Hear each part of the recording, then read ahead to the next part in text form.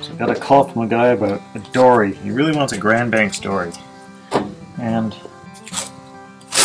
I had the conversation with him that Grand Banks dories are beautiful things if you want a boat filled to the gills with cod and you want to stack it on stack a bunch of them on deck nested together but as a recreational boat they're just not that great know they're kind of cranky they're kind of heavy Half the time you gotta row them standing up if they're built particularly deep. I could not change this guy's mind. At the same time, I'm really interested in them. Just never built one. It'd be fun to build one. Hate to go to my grave without having built. So for no other reason, I'm kind of inclined to just take a crack at doing something. Anyhow, I thought I'm just going to draw one up. One inch to the foot. Wants it 12 feet long too. That's real short. It's as short as you get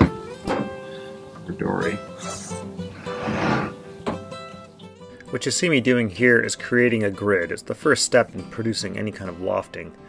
It's really just a framework upon which you do your design or your drawing. It involves a baseline, perpendicular lines, and center lines.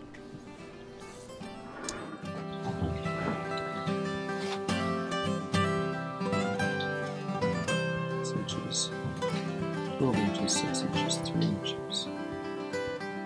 So we're going to give it about 2.5 inches of rock The first line I'm laying down here is the bottom, and I'm determining how much rocker I'm putting into it. Rocker is the difference in depth between the extreme ends of that bottom and the midships point. Boats with a lot of rocker turn more easily and can handle rough water better, but then again they don't track as straight and they're not quite as fast. I should just use sweeps. Do this fast. This is a quick and dirty. This is a quick and dirty. Let's see how it looks. What I'm about to use is called a ship sweep. It's basically a French curve, but it's a lot longer and flatter. What I'm creating here is really what I would call an ideation drawing. I'm not too worried about all the little details, I'm just trying to get a general impression of what this boat might look like. To a certain degree I'm just designing on the fly here. Before starting drawing, I did actually look at a bunch of different reference material. I went through the various design books I have and pulled out pictures of dories, went on the internet and looked for some other references there. And what I came down to is basically a set of proportions that I think might work for a dory this size. In short, I'm not copying anybody's specific design. I decided this 12 foot boat would be about 4 feet wide and would have a bottom width of just a little over 2 feet and a length of just a little over 9 feet. I wanted the bottom a little bit wider, but I could only go so far and not lose the classic dory flare-sided proportions. I'm going to give it 8 inches of the sheer. Use the spline for this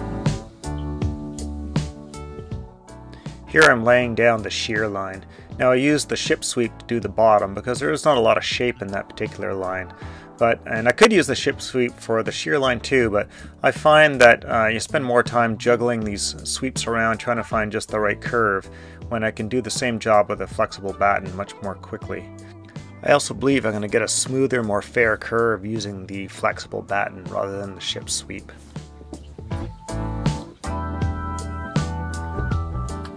My basic process for using the flexible batten is always about the same. I'll start in the middle usually and isolate one particular point that I want to use, uh, go to the ends of the line that I want to create and uh, isolate those points, and then I'll start to fill in the blanks in between with more weights, tweaking the curve as I go. Now this is kind of a quick little ideation drawing, I didn't put a ton of work into uh, laying down this curve, but on a larger boat, on a larger drawing, I would probably put a lot more weights there and spend a little bit more time tweaking it. Got this Chapelle drawing. I really like, really like the lines on it. So I'm using one design that Howard Chapelle recorded uh, from a dory that was from the 1880s, and I just really like the way it looks. So I'm stealing a little bit of stuff off of that, really just like the transom rake, the transom proportions, and the shape of the stem, and that's about it. I'm also taking there. some proportions of the plank widths off of it because I find they look really appealing to me. But for the most part, that dory and my dory are not going to look exactly the same, and uh, the sizes of them are completely different. Picasso said, good artists copy,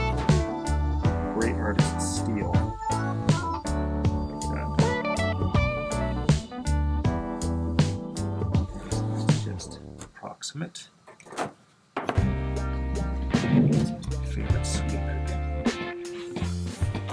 So much of the character of the boat is just in the shape of the stem. And uh, the shape of a stem on a dory can be practically a straight line or it can be a curve with a lot of shape to the bottom or a lot of shape to the top depending on the style of boat. And um, it's amazing how much time you can spend just farting around with this. And I've spent quite a bit of time drawing it and redrawing it and trying it different ways before I finally found one that I think appeals to me. Finding that just right shape. I have just a little bit of a flat section. Stem head. The way I feel. There we go. That. Good. Now as I work through this design process, I'm finding dividers are really my most useful tool. I'm using them to try and record proportions off of this other drawing. What you see me trying to figure out here is the proportion of the topside planking to the rest of the boat. I'm trying to scale off how far down the transom and how far down the stem the planking starts and stops. Once I've got a good line showing the, the overall size of the planking, then I'll draw that in and then try and divide it up into smaller planks and see how those look.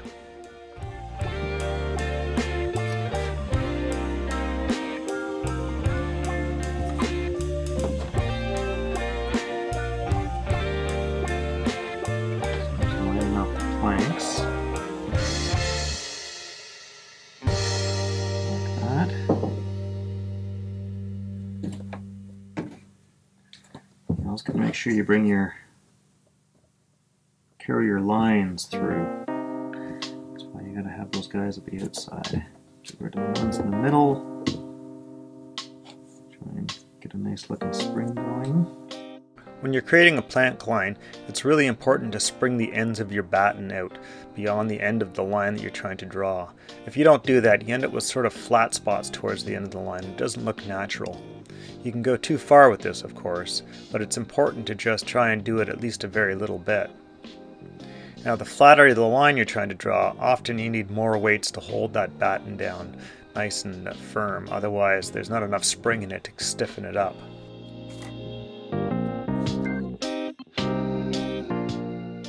What I'm doing right now is I'm basically walking down the top sides, adding one plank after the other, trying to eyeball a good shape and a good size. It's pretty common to just wait until you're building the boat to do this, but I'm just trying to create a nice sort of pretty picture, if you will, of what this boat might look like to show this potential client. Go.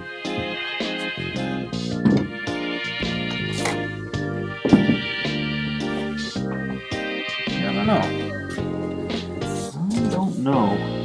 Loving. Remember what I said about stem shape? Here I go again. I think I might have to just knock this out in wood. Have a look at it. Alright, so now that I've got my profile drawing done, I'm just moving on to the half breadths, trying to get an idea as to what this boat's going to look like from above, or a bird's eye view, if you will. Now we call this view half breadths because it's showing the full breadth of the boat, but uh, from the center line out, so really half the breadth of the boat. We also refer to these lines as water lines generally but in this case I'm just doing the sheer line and the uh, chine or the bottom. Now part of this process uh, means that you're starting to play around with something we refer to as length to beam ratio. Now uh, the narrower your boat is relative to the length, the faster it's going to go. The longer your boat is, the faster it's going to go. And um, a typical small boat might have a length to beam ratio of about um, 3 to 1, for instance, say a small dinghy or rowboat. Now, canoe probably has a ratio of about 5 to 1, and uh, a racing shell might have a ratio more like 13 or 15 to 1. So this boat uh, is the length of the length to beam ratio is about um, 3 to 1 at the sheer, but down at the bottom it's actually more closer to 5 to 1 because the bottom's only 2 feet wide, so there's a lot of flare. We're going to end up with a ratio that's a little closer to a canoe, and thus the boat should be a little bit on the should be relatively fast. Now, of course, it'll be terrible for sailing because sailing craft generally want a nice uh, wide bottom relative to the length. But for a rowing boat like this is going to be, it should be fairly satisfactory. Once we've finished our half-breadth view, we can move on to what we call the body plan. Now this third view is basically a view of the boat from the front and the back end, and everything we create in this view is determined by elements we've already laid down in the other two views. My favorite way to do this is just with a recipe card.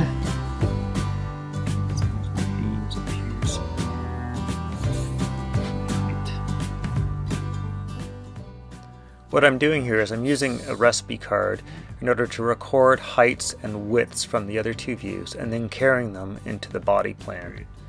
By using this method it means that all the dimensions we've created in the other two views are accurately transcribed to the plan view.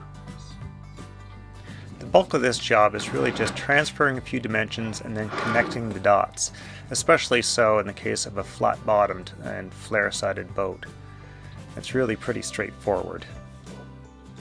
With our ideation design done, we can move on to making a model and see how this looks in 3D. But we'll save that for the next video. Remember what you've just seen is exclusive to my Patreon supporters. If you have any friends you think might be interested, please uh, let them know. Thanks for watching and thank you very much for your support. If you have any questions, I'm all ears and I'm open to suggestions anytime. Ciao for now, folks.